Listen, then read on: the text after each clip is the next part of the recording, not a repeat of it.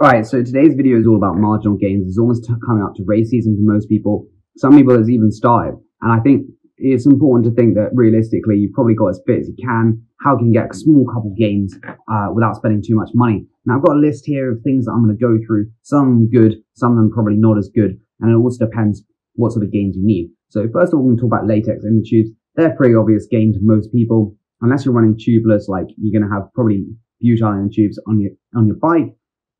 They're pretty slow. They're pretty heavy. People approximate about 50 grams per inner tube you can save in terms of weight. So that's pretty significant if you're doing hill climbs, but road racing or time trials probably not that significant.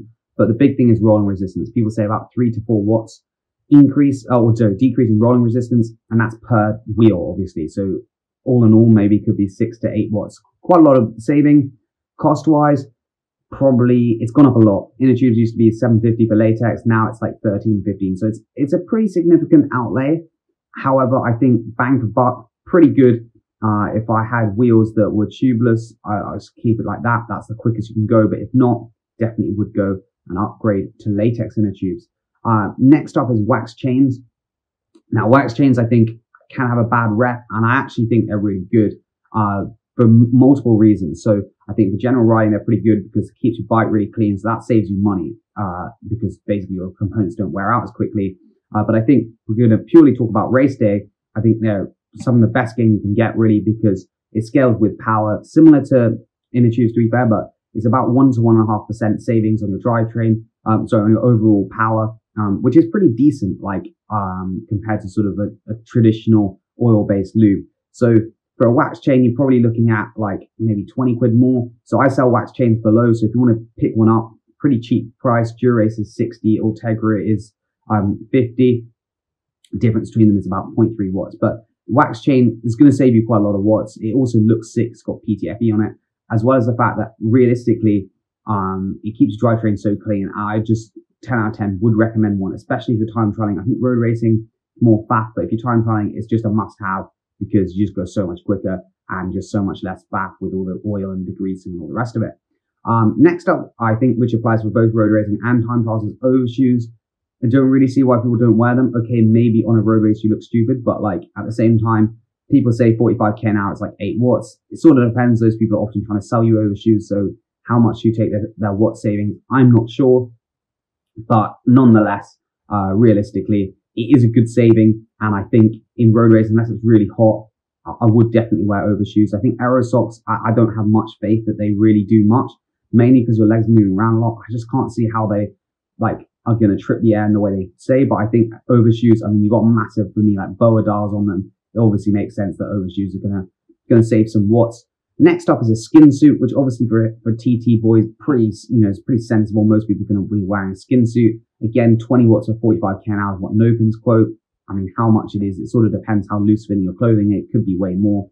Um, but I think for road racing, I think again, I mentioned this before and I'll mention it again is so good, especially if you're an amateur and let's say your longest road race, well, in the UK at least, is maybe four hours, but if you're doing like the top level, but most like UK road races around three hours, well, you don't need that much food for three hours. Like realistically, you can get one of these porta gels, which Adam Hansen has, which is about this big, this big, sorry, goes down the back of your neck and you can have it there. And realistically, like it just is going to be a lot more aero than a road race. And then you just take it out from the back, have a little swig, put it back. One bottle in your on your bike you could have mix as well, like with that sugar in it, um, and another one just water. Really easy way of getting food down, but also super super idle. So very important. The last one is basically about saving weight. And I think this is potentially not that useful for time trial people. Obviously, road race people, I think it can be good. Um, but things like I had ideas on, so quick release skewers, get calm, uh, like t- titanium quick release skewers, probably 40 or 50 grams there. And get a top cap, you might say that's stupid, but it's like you save 10 grams and it costs you like five pounds. So on a hill climb build, it would be rude not to. You've got expander plugs as well, a little bit more dodgy, but again, probably 20, 30 grams saving there. Um, seat post, if you've got a normal seat post, so as in a 27.2 mil one, you can probably save 40, 50 grams and get 130 gram seat post from AliExpress for about 20 pounds. You can get pedals, uh, you get Time Xpresso pedals from AliExpress. Again, those are super, super light um, and don't weigh too much. You have to change your pedal system. Okay, I understand that. But if you're really chasing every margin gain, that's pretty obvious. Brakes again, you can go super uh, like lightweight hill climb brakes. Like you can get EE brakes now for like 150 quid from AliExpress. Again, are they real? No one knows. Uh, but or if, even if you don't want to do AliExpress brakes, let's say you've got Shimano Dura-Ace brakes, you just change to SRAM red brakes. They're way lighter. SRAM brakes are like 50, 60 grams lighter. Um, and then, you know, if you're doing a latex inner tubes as well, it all adds up. And I think ultimately for a road race, I wouldn't really say it's a huge thing. Like, you know, having a bike that's 200 grams lighter is nice. It's not the biggest thing in the world. Um, but I would say for hill climbs, obviously it's a, it's a given that you should try and get your bike as light as possible. So anyway, those are my thoughts about what you should, where you should spend your money on marginal gains. These are all sort of good gains. I think the lightweight things are always harder to justify, but I think wax chains, aero things like overshoes, skin suits, um, and latex inner tubes are sort of a no-brainer.